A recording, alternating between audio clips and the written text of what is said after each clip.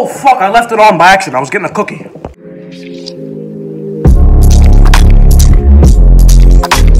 I mean, yo, what's up, guys? I fucking think I think this is a story time. That's what I'm gonna go for. I don't know how to do a story time. Um, someone someone said to make a fucking story time, and I'm listening to y'all because you're the ones watching it, right? So like that's what we're doing. Okay, I'm gonna tell you guys about the time I was on the fucking subway and I witnessed some guy beating the shit out of somebody with a fucking trombone. All right. So I live in Staten Island, as you know. Fucking famous birthdays exposed me, right?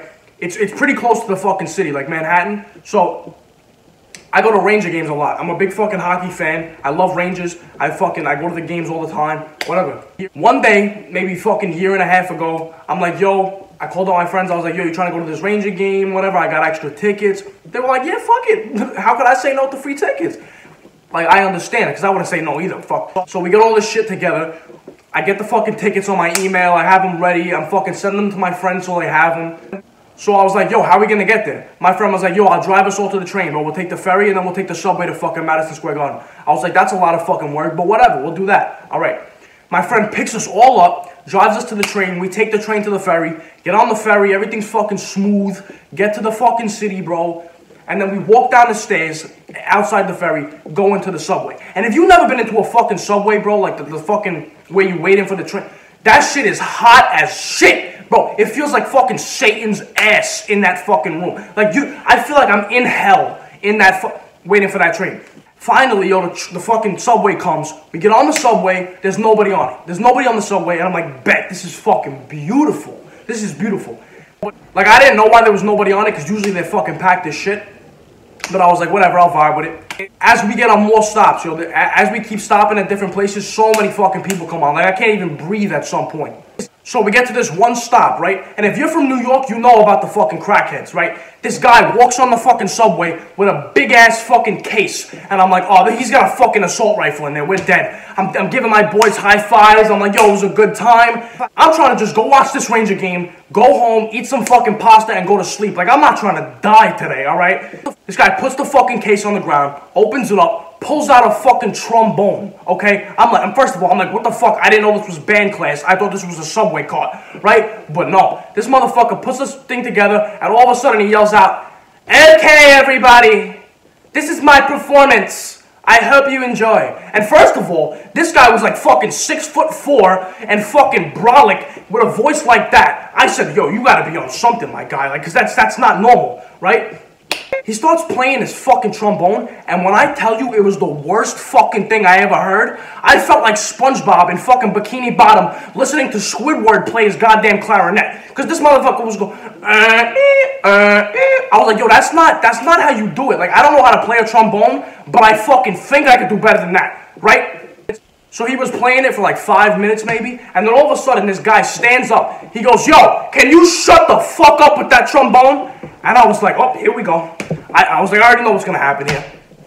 I'm just sitting there. I, I, got my headphones in. I'm like, I'm not, I'm not doing nothing. I, I have no part in this. If someone dies right now, it's not my fault. Like, if, so the guy goes, yo, shut up with that trombone. And then the guy with the trombone, he goes, listen, this is just a performance. If you don't like it, close your ears.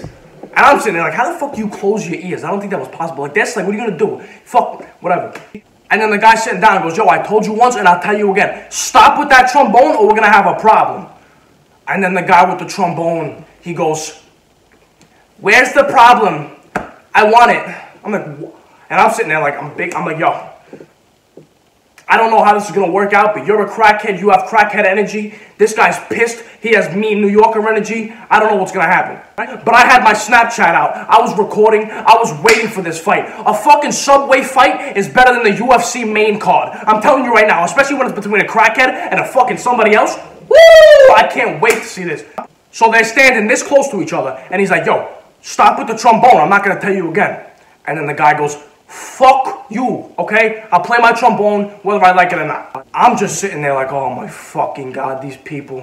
Like, what, like, oh my God, this is something bad waiting to happen.